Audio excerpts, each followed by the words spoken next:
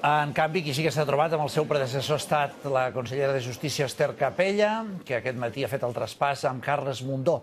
Capella havia estat eh, diputada per Esquerra al Congrés, a Justícia. Capella té el repte de refer la relació amb jutges i fiscals deteriorada, perquè la meitat de l'anterior govern és a la presó.